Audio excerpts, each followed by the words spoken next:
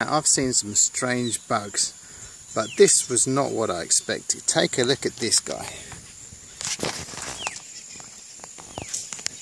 I thought it was a bit of fur or fluff stuck on a branch, until I realised it was moving. I mean, how amazing is that?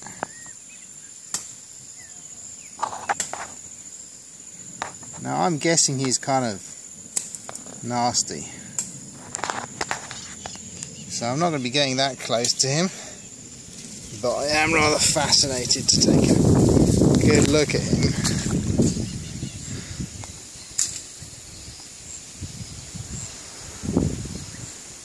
Take a look at that. Is he weird or what? That is a punk caterpillar. Now I'm going to put him on a little branch where he's out of the way. But that is the weirdest caterpillar I've seen in my entire life. I can assure you.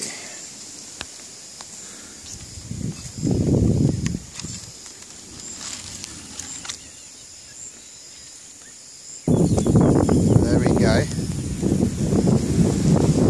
I've just been told that his fur burns like acid. So we won't be getting too friendly with this guy. But I can assure you that is one of the weirdest bugs that I've seen in quite a while. So off he goes. And hopefully he won't uh, annoy anyone.